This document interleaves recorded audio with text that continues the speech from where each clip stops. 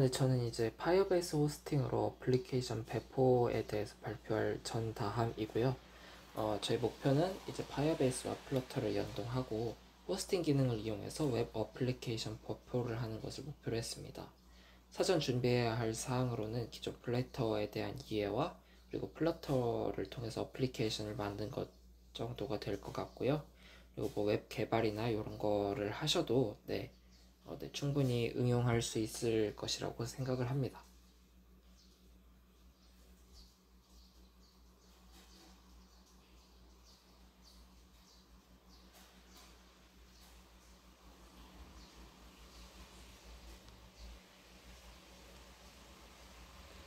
근데 Firebase란 이제 구글에서 제공하는 backend 서비스 플랫폼으로 모바일 및 웹 어플리케이션 개발을 지원을 하고 개발자가 신속하게 어플리케이션 개발하고 배포할 수 있도록 돕습니다.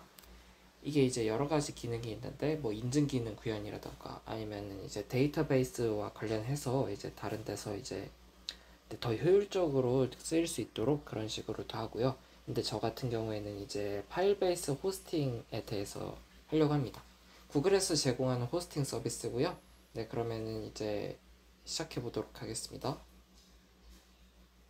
우선 파이어베이스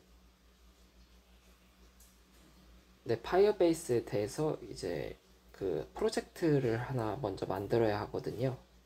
그래서 프로젝트 추가 눌러주시고 프로젝트 이름으로 제 번호인 OSS 101로 네, 진행을 했습니다.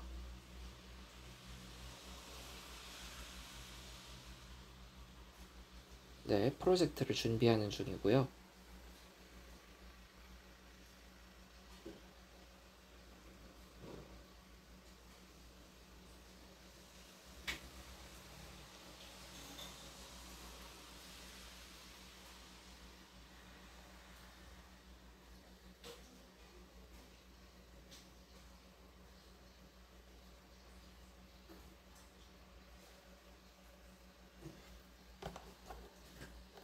네, 프로젝트를 이제 만들었습니다. 그래서 이제 들어가 주시면은 이것저것 할 수 있는데 저는 이제 호스팅부터 시작을 하도록 하겠습니다. 네, 호스팅 시작하고요.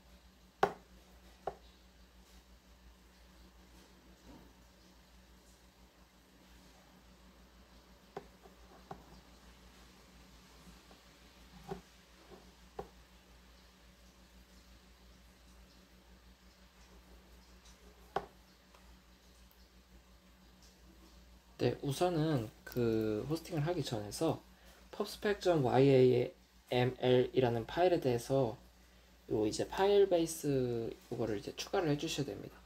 그래서 이제 가장 최신 버전을 알아내기 위해서 이제 조금 검색을 했었고요. 그래서 이거는 이제 3.1.0 워스 그 인증 같은 경우에는 5.1.0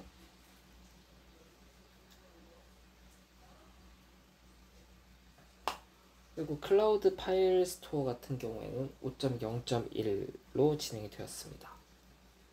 그래서 이 내용을 이렇게 추가를 해줬고요. 그러면 자동으로 이게 이제 업데이트가 돼서 네, 이거를 할 수 있게 됩니다.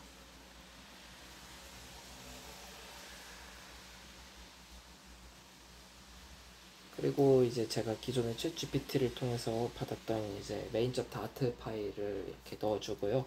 근데 요게 이제 오류가 있었습니다. 이제 파일 베이스 옵션스 점 다트 파일에 문제가 있었는데 이게 이제 설치가 안 됐어가지고 그래서 요거를 설치해주기 위해서 아까 파일 베이스 CLI 들어가서 요거를 이제 설치를 해줬고요.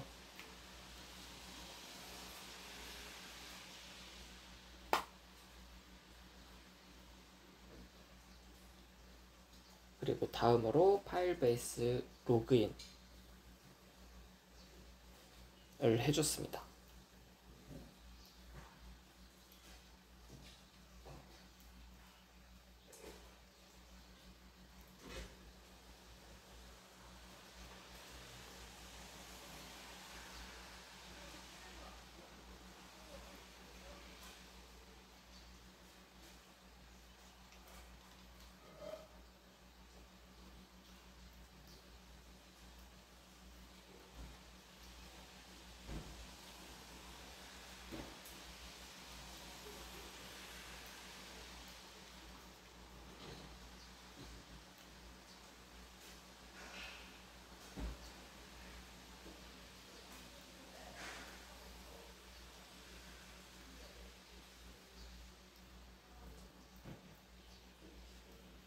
이렇게 설치가 됐고 Firebase login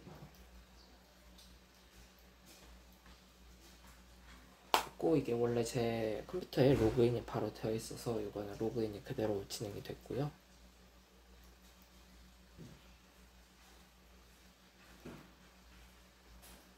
네, 아까 밑에 오류가 있어서 로그인 점 스크린 점 다트 파일을 import 한번 해줬고 그리고 아까 밑에 있는 코드를 이용해서 이제 옵션스 점 다트를 이제 설치해 주려고 했습니다.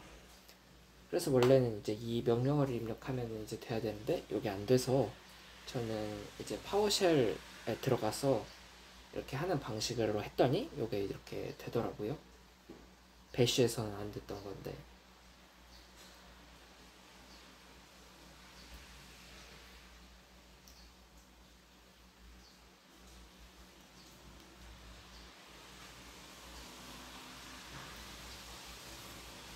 네, 그래서 이제 이게 완료가 됐고, 그리고 이제 Firebase 프로젝트를 선택하는 일을 해야 합니다. 그래서 가장 최근에 만든 거 해주셨, 해줬고, 저는 안드로이드랑 웹 Windows만 해줬어요. 그래서 iOS랑 맥OS, 이거, 맥OS죠? 맥OS를 이제 스페이스바를 누르면은 그 체크 해제가 됩니다. 그래서 체크 해제를 해줬고요. 이거를 이제 쭉 깔아줬습니다. 이게 이제 제가 하려는 게 이제 파이어베이스를 이제 초기화하는 건데 이게 이제 네, 데이터베이스를 이제 좀 초기화해 주는 게 중요하고 네, 보통 그렇게 많이 해줘서 저도 이렇게 따라서 했고요.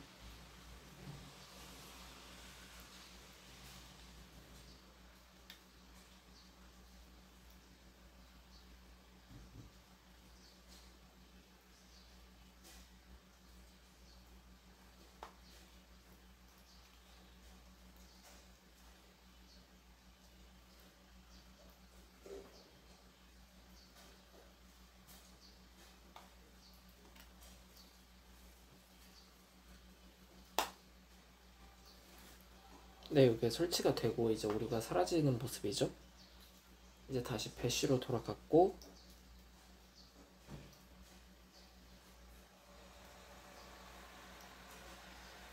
네, 일단은 저희가 웹 호스팅을 하기 때문에 어플리케이션을 일단 웹사이트로 build를 해주는 이제 과정을 거쳤습니다.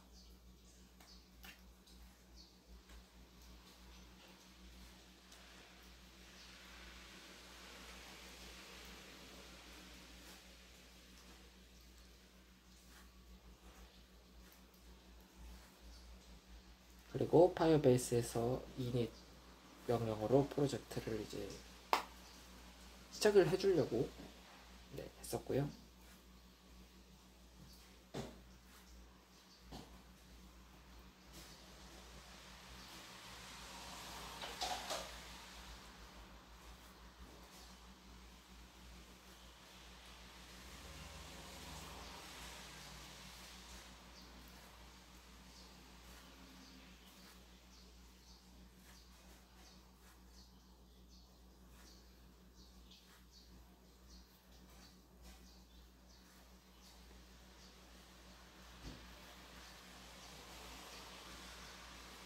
네, 그래서 여기 이렇게 진행을 해주고 저희는 이제 호스팅 해주면 됩니다.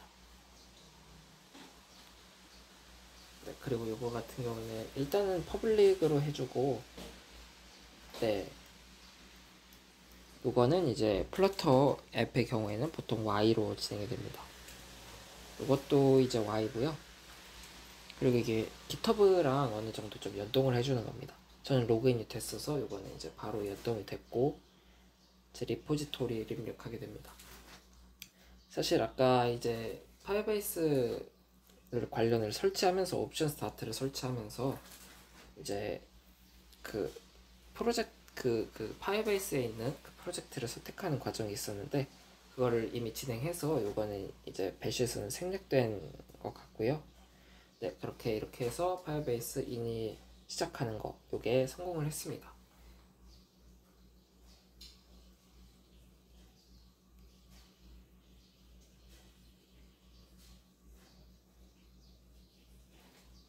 그리고 이제 바꿔줘야 될 게 아까 public 함수로 이제 들어갔었는데 요게 요거를 하게 되면은 그냥 그 기본 화면이 뜹니다. 그래서 이제 요거를 이제 수정해 줘야 할 필요가 있었고요. 그래서 저 rf public 이걸로 함수를 지워주고 아까 웹 웹을 개발했던 요 요거를 가지고 다시 채워 넣었습니다.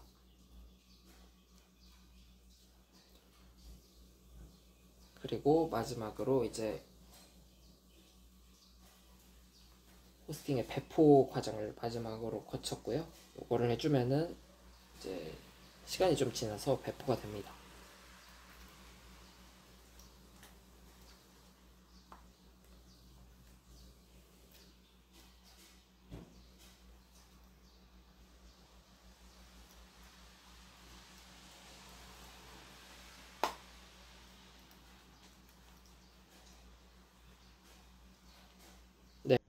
쉽게 배포하고 관리할 생각 계획입니다.